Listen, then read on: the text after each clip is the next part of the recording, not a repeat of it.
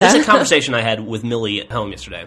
It was determined that I have one gray hair in Oh, my I beard. And uh, Millie goes, Dad, I'm really worried about you. And I go, Why? And she goes, Well, you're getting a lot older. And I go, Excuse me? She goes, I mean, your face is gray now, and soon you're going to be too old, and mommy's going to have to marry a new daddy. And I don't know if I'm going to like the new daddy. and I go, Are you and mommy talking about this? And she goes, Sometimes in the car.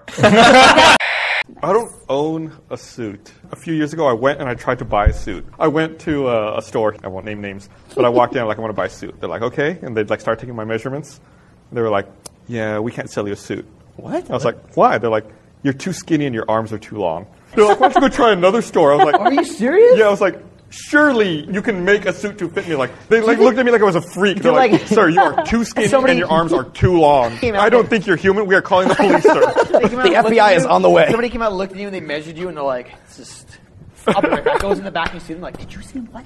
And then someone up front's like, "Hey guys, something just walking into the store." yeah, no, we're on it. We're on it. we think it's some kind of hairless ape. um, we're gonna have to ask you to leave.